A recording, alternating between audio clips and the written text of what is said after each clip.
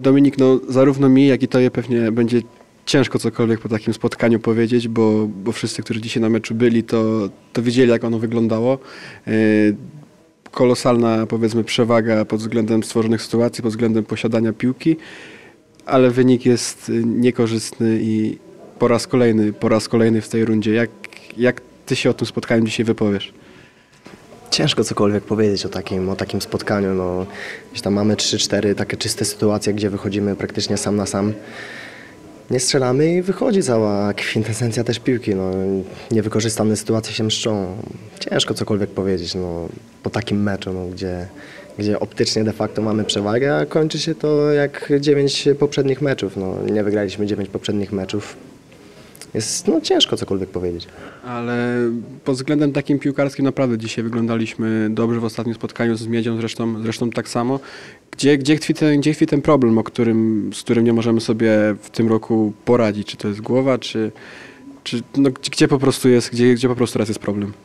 Myślę, że myślę, że jest to gdzieś poniekąd to u każdego w głowie, że każdy musi się z tym zmierzyć i każdy ma gdzieś tam z tyłu głowy to, że, że nie wygraliśmy od tych dziewięciu meczów, no ale musimy sobie z tym radzić, tak? No, możemy mówić coś tam, że graliśmy pięknie w piłkę, bo jakby nie patrzeć mecz z Koroną, mecz z Miedzią, mecz, nie wiem, z Resowią, no to, to, to, to praktycznie wszystko było to samo, no tylko, że chodzi o to w piłce nożnej, żeby wygrywać te mecze, a a my no, no, no nie, nie wiem, czy nie potrafimy, czy no potrafimy to na pewno, no bo pokazaliśmy to w rundzie jesiennej, no ale musimy być po prostu w tym bardziej konsekwentni, no, że wziąć odpowiedzialność, niech każdy, każdy weźmie odpowiedzialność na siebie i myślę, że wtedy przyjdzie to przełamanie. Po raz kolejny potwierdziło się to, że nawet zespół grający w przewadze jednego zawodnika y, niekoniecznie musi mieć łatwiej, tak? bo, bo Stomil naprawdę dzisiaj szczelnie bronił, a jak nawet gdzieś przez obronę się przedzierała piłka, to naprawdę to, co dzisiaj y, Tobiasz w bramce wyczyniał, to, to się chyba tego nie da opisać słowami. No Tobiasz to dzisiaj no, zrobiliśmy my z niego bohatera, no, trzeba, trzeba to sobie powiedzieć, no bo co bronił w niektórych sytuacjach, no to, to szacunek dla niego, ale takich klarownych sytuacji my po prostu musimy wykorzystywać. Y, No do końca sezonu pięć spotkań, za tydzień gramy tutaj z Sosnowcem, w czwartek gramy z Sandecją. Y, wie- Wiemy wszyscy jaka jest sytuacja w tabeli, że dalej gdzieś mamy, mamy szansę teoretycznie na ten, na ten baraż, więc, więc chyba nie pozostaje nam nic innego jak, jak z taką wiarą i ambicją, której nie można nam dzisiaj było odmówić, walczyć i, i to co przyniesie koniec sezonu, no to, to zobaczymy, tak? No tak, no zostało pięć spotkań, a wiadomo, że w polskiej piłce, tym bardziej w polskiej, no wszystko jest możliwe, tak? Wpadliśmy teraz w, w mega dołek, no bo nie wiem, no ja jeszcze nie spotkałem się z czymś takim, żebym nie wygrał meczu od dziewięciu spotkań.